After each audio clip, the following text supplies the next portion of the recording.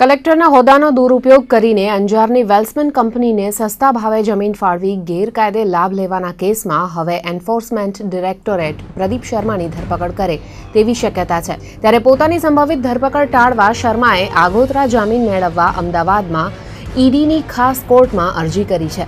સોમવારે પ્રદીપ શર્માએ પોતાની અરજી સંદર્ભે દલીલ પેશ કરી હતી કે તેઓ ઈડીને પૂર્ણ સહકાર આપી રહ્યા છે, છતાં તેમને ધરપકડનો ડર છે.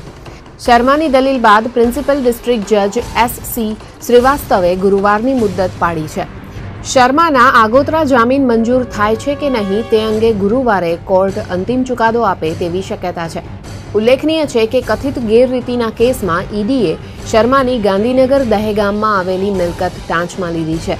ગત ત્રીસમી સપ્ટેમ્બરે આ જ કેસમાં રાજ્યના એન્ટી કરપ્શન બ્યુરોએ શર્માની ધરપકડ કરી હતી. બાદમાં ગત ઓગણત્રીસમી જાન્યુઆરીએ ભુજની કોર્ટે શર્માને નિયમિત જામીન પર મુક્ત કર્યા હતા. વાત અકસ્માત આપઘાતથી થયેલા અપમૃત્યુની. તો વિવિધ દુર્ઘટનાઓમાં ચાર લોકોએ જીવ ગુમાવ્યા છે. ભુજના એરફોર્સ રોડ પર રસ્તામાં આડી ઉતરેલી નીલગાય સાથે અથડાતા બાઇક ચાલકનું મોત નીપજ્યું છે. ભુજના સુમરાસર શેખનો પાંત્રીસ વર્ષીય ગોપાલ નારાયણ ગાગલ બાઇક પર ભુજ આવી રહ્યો હતો, ત્યારે આ અકસ્માત સર્જાયો હતો. ગંભીર રીતે ઘાયલ ગોપાલે પોણા ચાર વાગે ખાનગી હોસ્પિટલમાં દમ તોડી દીધો હતો. આ તરફ ભુજમાં પુણેના એક મજૂરે દારૂના નશામાં સંતુલન ગુમાવી પાણીની ખાલી ટાંકીમાં પડતા તેનું મોત નીપજ્યું છે. મૃતક તેતાળીસ વર્ષીય સંતોષ નામના યુવકને ભીડ નાકા પાસે રહેતા અને કેટરિંગનું કામ કરતા અલ્લાઉદ્દીન નામના શખ્સે કામ પર રાખ્યો હતો. આજે સવારે દારૂના નશામાં ચકચૂર સંતોષે. નાહવા માટે અંડરગ્રાઉન્ડ ટાંકી ખોલી પાણી કાઢવાનો પ્રયાસ કરતા તે તેમાં પટકાયો હતો. માથામાં ગંભીર ઈજા થતાં તેનું મોત નીપજ્યું હતું. આ તરફ ભચાઉમાં ગત આઠમી ફેબ્રુઆરીએ અજાણ્યા વાહનની અડફેટે ઘાયલ થયેલા પરપ્રાંતીય પ્રૌઢે જીકે જનરલ હોસ્પિટલમાં દમ તોડી દીધો છે. મૃતક ચોપન વર્ષીય ચતુરસિંહ રામરાવ પાટીલ મહારાષ્ટ્રનો વતની હતો.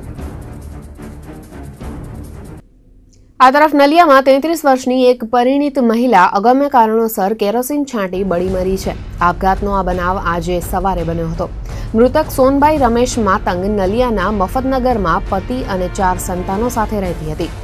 સવારે તેનો પતિ કડિયા કામે જવા રવાના થયા બાદ સોનબાઈએ કેરોસીન છાંટી કાંડી ચાંપી દીધી હતી. જોત જોતામાં તે ઘરમાં જ જીવતી ભડથું થઈ ગઈ હતી. સોનબાઈએ કયા કારણે આપઘાત કર્યો તે અંગે પોલીસ તપાસ ચલાવી રહી છે. ગાંધીધામની વચલી બજારમાં વર્ષો જૂની ગટર લાઇનના કારણે વેપારીઓ ત્રાહિમામ પોકારી ગયા છે. વર્ષો જૂની ગટર લાઇન રોજ ઉભરાય છે. તેમાંય પાલિકાના સફાઈ કામદારોએ ગઈકાલે સાંજે લાઇનમાં રહેલો ભીનો કચરો સાફ કરી ત્યાં જ મૂકી રાખતા વેપારીઓ રોષે ભરાયા હતા. વેપારીઓએ કચરો કાદવ તત્કાળ લઈ જવાની માગ સાથે આક્રોશ વ્યક્ત કરતા ધારાસભ્ય રમેશભાઈ મહેશ્વરી અને પાલિકા પ્રમુખ સુરેશભાઈ શાહ વચલી બજારમાં દોડી ગયા હતા. તેમણે તત્કાળ ગટરનો ભીનો કચરો હટાવવાની સૂચના આપી વેપારીઓનો ગુસ્સો શાંત કરવા પ્રયાસ કર્યો હતો. વેપારીઓનો આરોપ છે કે બજારના વેપારીઓ ગંદકી અને બદબૂથી ત્રાસી ગયા છે. ગ્રાહકો પણ આવતા નથી. ત્યારે પાલિકા દ્વારા તત્કાળ અસરથી નવી પહોળી ગટર લાઇન નાખવામાં આવે. પૈસા લઈને કેટલીક રેસ્ટોરન્ટમાં નવી લાઇન નાખી અપાઈ હોવાનો સ્થાનિક વેપારી એસોસિએશનના પ્રમુખે આરોપ કર્યો હતો.